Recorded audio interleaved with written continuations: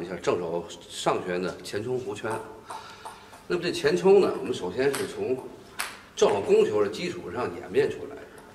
那首先是我们要求对小臂的对球的控制，摩擦是通过小臂，然后呢多要注意重心、腰腿、腰胯的这个感觉，特别是收顶胯，在现在这个拉法当中非常重要。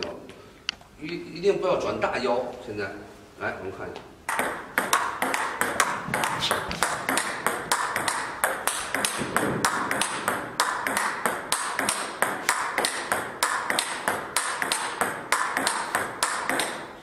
那我们这个重心交换啊，主要是拉手还是在右脚，注意左脚的下压配合。那很多人还拉手的时候都是一边空的，那这边没用出来，啊，这第一个问题。第二个，我们出手的时候注意脚下发力的踩向前上等，这膝盖不能平往下转，往下压。还有很多人一拉是碾的，这碾的你一拉完以后，整个整个重心是反的，是你出手以后重心坐在右边，它不在左脚上。对吧？因为拉完以后到这个角，回，拉完到这个角，啊。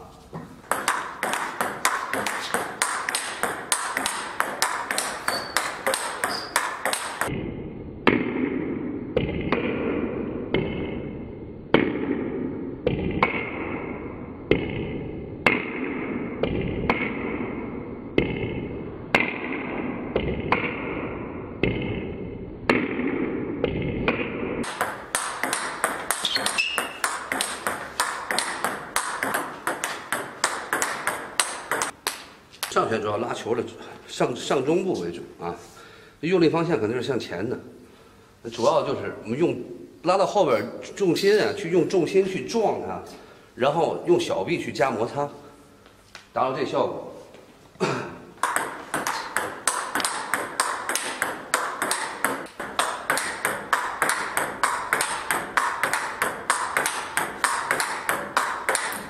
我们这站位啊是。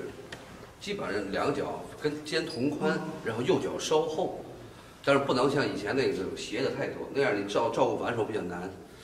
那这个我们整个重心呢，还是在前脚掌和膝盖上，尤其在膝盖上啊。那整体呢，我们注意脚趾的抓地，脚趾抓地，这样方便于启动站位的时候。那出手的时候呢，我们这个力啊是从脚下。到传到膝盖，传到胯，最后传到手上，这个是一致的用力方向，同步完成啊。再要注意的就是，我们接触球摩擦的时候，注意手上有紧手动作，加一点紧手的动作，这样呢力量会集中一些。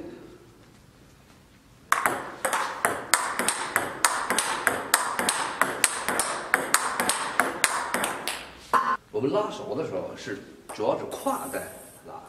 不要主动的去拉这个肩和肘，很多人拉球的时候，大臂主要推的比较多，那出手的时候小臂这下收的不够，那注意我们的小臂的放松、展放松，那接住球的时候我们瞬间才能瞬间的加速才能出来，这是第一个。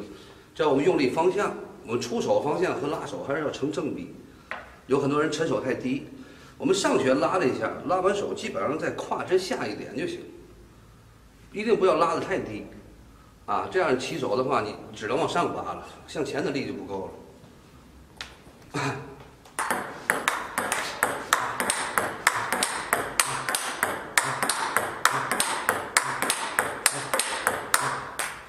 这击球点呢，我们主要还是必须是在身前拉到球。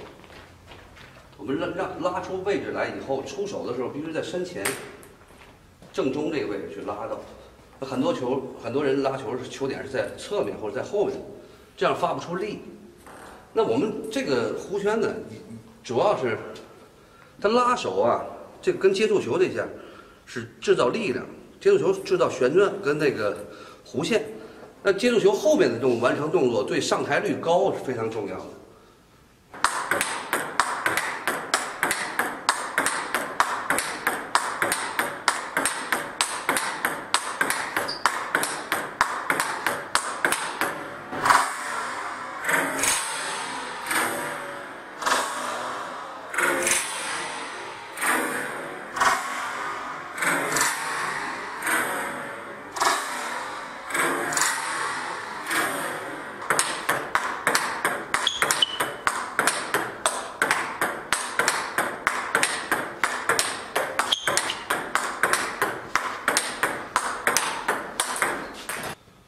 我们这个摆手动作呢，第一个是腰带，第二个拍形呢，很多人拉上旋容易非常压这个球球拍，那基本拉球都是拉上部，这样反而出不来力量。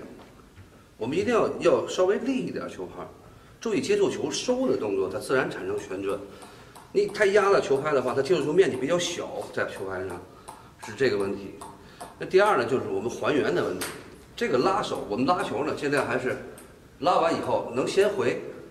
那我们单拉单线的时候是连续的，对吧？那我们正常如果结合到反手的时候，拉完尽量要先回中间，因为这个往两边跑的时候，这个拉手距离会比较近。相对来说更容易一些。